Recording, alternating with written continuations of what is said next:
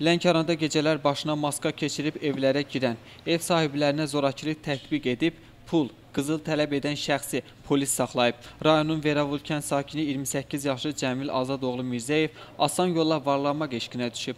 O varlanmağın rahat həyatın yolunu özgənin əmlakını ələ keçirməkdə görüb.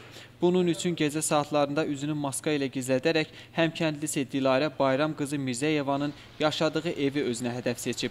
O gizli yolla evin ikinci mərtəbəsinə çıxıb.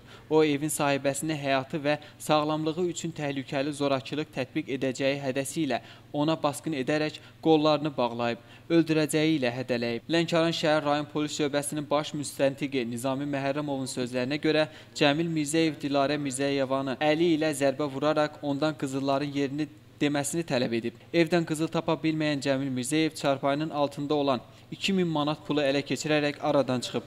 Lakin hadisəni törədən şəxs çox da uzağa gedə bilməyib. Lənkəran şəhər rayon polis şöbəsinin əməkdaşlarının həyata keçirdiyi əməlik axtarış tədbirləri nəticəsində Cəmil Mirzəyev şübhəli şəxs qismində yaxalanaraq istintaq orqanlarına təhvil verilib. Lənkəran rayon məhkəməsinin qərarı ilə Cəmil Mirzəyev barəsində 4 ay müddətinə həbs qəti imkan tədbirləri seçilib. Qurban İsmailov, Rəhman Məlikov, Dünya TV.